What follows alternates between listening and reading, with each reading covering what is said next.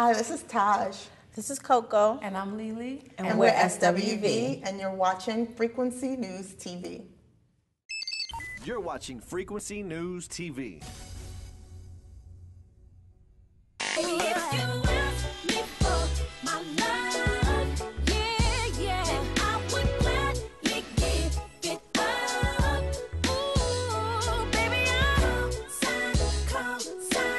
Are definitely that group that a lot of the young girls can relate to.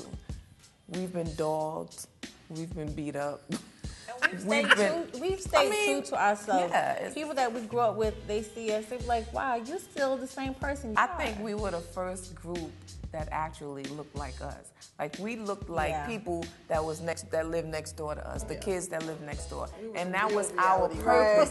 that was our purpose. People call it ghetto, but whatever. New York City. Because of the ghetto and where I'm from in the Bronx, I am who I am today. I'm still the same person. I would bite your head off back then. I'll still do it now. I like to have fun. So when they see us, it's like, oh, they they crazy. They like to have fun. One of the things that makes SWV work is respect and communication. And we know how we all are. And it's okay to not like something that I did. It's okay to not like something that she did. But it's cool. We know how to deal with it. It's all about respect at the end of the day. The first run was so new to us that we weren't prepared for it. When we recorded that album, we were just happy, teenagers, happy to be in the studio, and we just wanted to get out there and perform and show everybody what we could do. We never in a million years expected our songs to be legendary. Of course, you want them to be, but we had no idea yeah, it would no. be. And that feeling just it was it's amazing. So when you take a break, sometimes you lose the magic of what happened and you kind of put it in your memory because you think people don't care or don't know anymore. But once you're back out there, you realize they were just waiting on you. But who knew? We're very emotional about what we do and how people treat us. And sometimes when you take a break, it seems as if people forget about you and it's easy to look down and say we're starting from scratch. But then you tour and people are coming from everywhere filling up venues to see you and you realize that people actually still care about you and that just feels so good. And I think our motivation for doing it is a lot different. We don't do it for the fame, we don't do it for the notoriety. We do it because we love what music does to us. This album really challenged us but it's so beautiful, like the way it came together.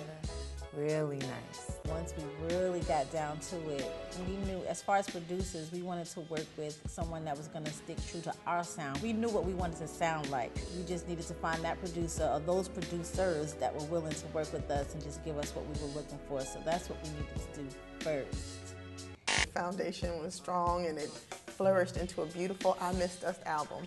Cosign was just a perfect song. It was old school sound in SWV blended with this new sound. So um, we didn't want to disappoint the fans, so we thought that would be the perfect single.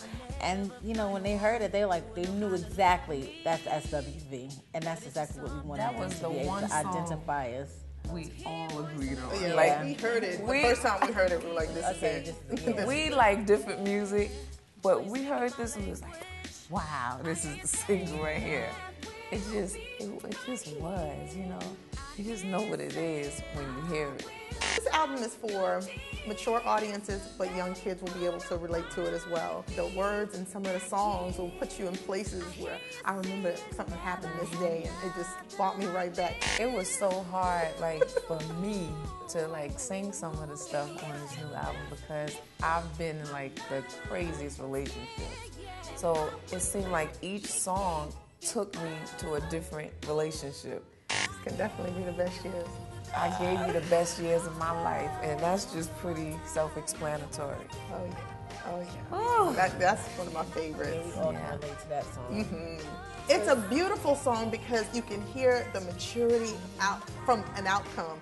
After somebody has broken your heart so many times, you realize that you allowed them to do it. But now that you're no longer young, dumb, and playing the fool, I gave you the best years of your life, not of my life, of your life. Right. So you not come back. Absolutely. You was everything to this person. It could be a relationship, a spouse, or even a best friend. Uh-huh. You know, I'm sure it's just. Oh. It's a beautiful song. it is. When we heard all about you we'd be like, Ooh! like that was always us. We always was like R&B, hip hop, urban group. So when we heard certain songs, it took me back to I'm Someone to You and anything video. anything and just like, ooh, like we old, but yeah, we still got it going on. you know, we can still party, you know, I mean, so we're not 20 anymore, so for us to be able to hear a song and be like, ooh, it's a good feeling. We're SWV, and you're watching Frequency News TV.